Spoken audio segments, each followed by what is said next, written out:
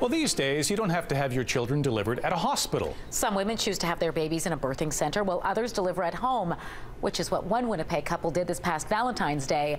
But it wasn't exactly part of their plan. As CTV's Jon Hendricks shows you tonight, the premature baby surprised everyone with its early arrival.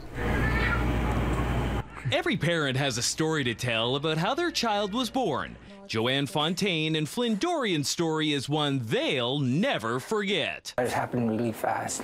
And it all happened at home, in the washroom, while mom was sitting on the toilet. I was kind of shocked. I didn't know what to do.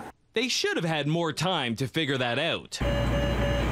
The baby wasn't supposed to arrive for another month and a half. Joanne Fontaine says she thought she simply had to go to the washroom, but as she sat down, her water broke. Told my boyfriend, call the ambulance.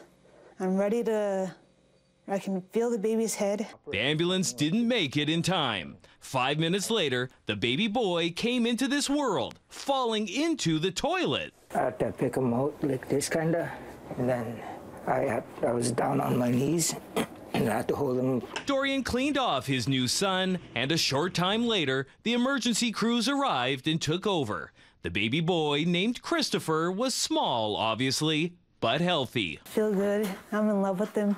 And she has quite the story to tell him when he's old enough to understand. Jon Hendricks, CTV News, Winnipeg. The couple hopes to take baby Christopher home when he gets closer to his original due date in March. None of the emergency personnel who helped the couple were available to speak with us on camera today. But in a statement, Chief John Lane says the Winnipeg Fire Paramedic Service is pleased to have played a part in this safe and happy out of hospital delivery. It wishes the family all the best as they welcome their newest member into the world.